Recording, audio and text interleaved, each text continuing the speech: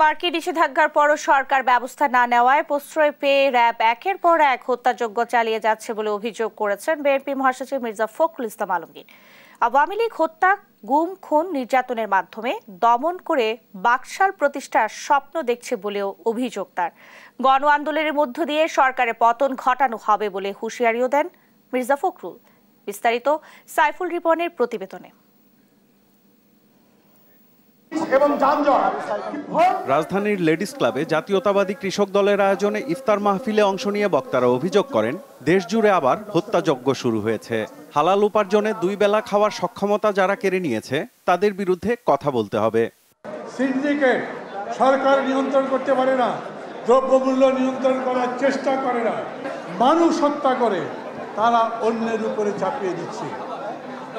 দেশ জুড়ে একটা মিথ্যার ব্যবসা হচ্ছে, দেশ জুড়ে দুর্নীতির ব্যবসা হচ্ছে, দেশ জুড়ে অন্যায়কে জোর করে প্রতিষ্ঠিত করবার জন্যে ন্যায়কে দাবিয়ে দেওয়া হচ্ছে। যারা লুটপাট করে সিন্ডিকেট করে, দলীয় লোকদের দিয়ে চাঁদাবাজি করিয়ে, জিনিসপত্রের দাম বাড়িয়ে, আমার মুখের খাবার কেড়ে নিচ্ছে। তাদের বিরুদ্ধে কথা বলা ধর্মীয় কাজ। দলের মহাসচিব মির্জা ফখরুল ইসলাম আলমগীর অভিযোগ করেন সরকারের বেআইনি আদেশ পালন করতে গিয়েই একের পর এক হত্যা করছে আইন শৃঙ্খলা বাহিনী। বলেন জনগণের আন্দোলনের মধ্য দিয়েই সরকারের পতন ঘটানো হবে।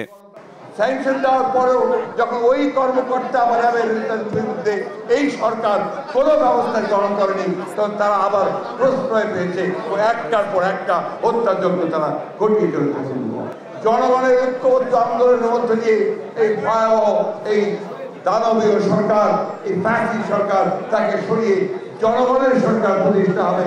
তারেক রহমান আবার আমাদের মাঝে ফিরে এসে নেতৃত্ব গ্রহণ করবেন একই সঙ্গে দেশের বেগম আমরা মুক্ত করতে সক্ষম হব। এর আগে দুপুরে জাতীয় প্রেস ক্লাবে আলাদা এক আলোচনা সভায় দুর্নীতি লুটপাটের কারণে দ্রব্যমূল্যের ঊর্ধ্বগতিতে দেশের মানুষের জীবন দুর্বিষহ হয়ে উঠেছে অভিযোগ করেন বিএনপির স্থায়ী কমিটির জ্যেষ্ঠ সদস্য ডক্টর খন্দকার মোশাররফ হোসেন। দুর্নীতিতে জড়াতেই সরকারি হাসপাতালগুলোতে চিকিৎসকদের প্রাইভেট প্র্যাকটিসের সুযোগ করে দেওয়া হচ্ছে বলেও অভিযোগ করেন তিনি। দেশে আন্তর্জাতিকভাবে স্বীকৃত যে একদম উপর থেকে নিচ পর্যন্ত আজকে বাংলাদেশ দুর্নীতিতে নিবঞ্চিত। গণতন্ত্র যারা হত্যা করেছে তারা গণতন্ত্র দিতে পারে না, পুনরুদ্ধার করতে পারে না। অর্থনীতি হত্যা করেছে তারা অর্থনীতি মেরামত করতে পারবে না। এই স্বাস্থ্য ব্যবস্থা যারা বিপর্যয় সৃষ্টি করেছে, তারা স্বাস্থ্য ব্যবস্থাকে সেইভাবে আবার নূতন করে সাজাতে পারবে না। গণ অভ্যুত্থান ইনশাল্লাহ অতি দ্রুত এদেশে হবে।